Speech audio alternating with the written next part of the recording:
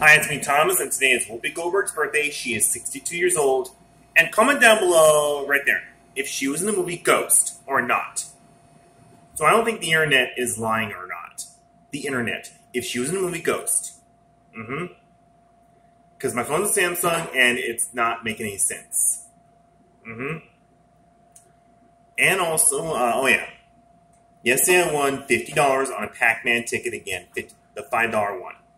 On my mom's birthday. And I had Domino's Pizza. Mm-hmm. I had to.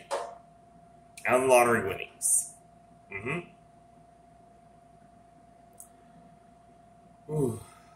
And also, uh, oh yeah, it's also Jimmy Kimmel's birthday. He's really funny. He's 53 years old. Same age as Will Ferrell. I like him. Mm-hmm.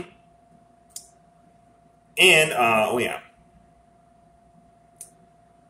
I'm gonna go to work today, and I hope, yes. It's gonna be really busy, like around Friday and weekends, yes. But December 4th is a new MacGyver coming, the new season. Mm-hmm. It is. So, I guess we're going, so I gotta go. So, bye. Bye.